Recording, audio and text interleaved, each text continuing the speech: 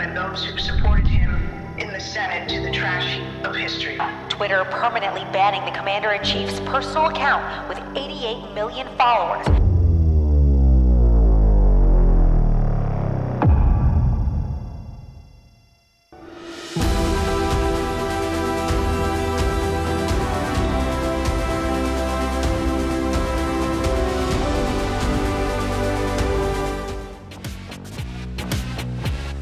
دونالد ترامب مهما حدث لن يختفي هذا الرجل عن الظهور لا بالانتخابات ولا بحظر مواقع التواصل الاجتماعي.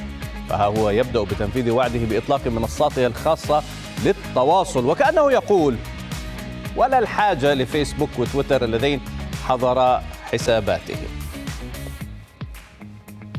أطلق الرئيس الأمريكي السابق موقعا إلكترونيا جديدا للتواصل مع محبيه من رواد السوشيال وهذا الموقع اسمه From the Desk of Trump أو من مكتب ترامب.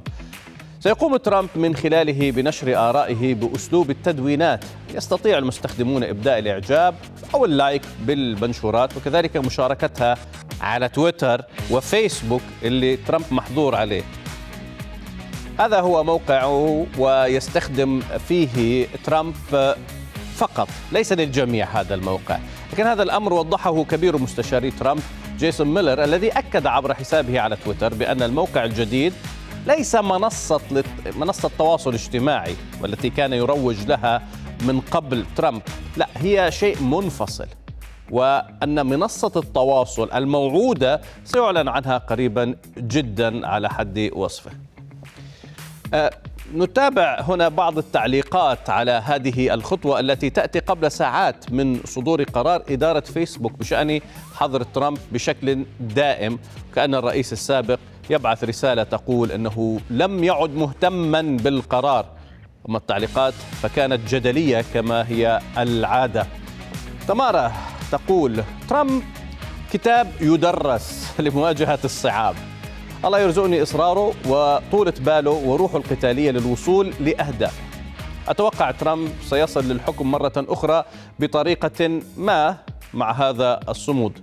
ربنا يطول عمرنا وعمره ما بعرف إذا راح يعيدها بعد ذلك. وإن كان هو قال راح أترشح يفكر في ذلك.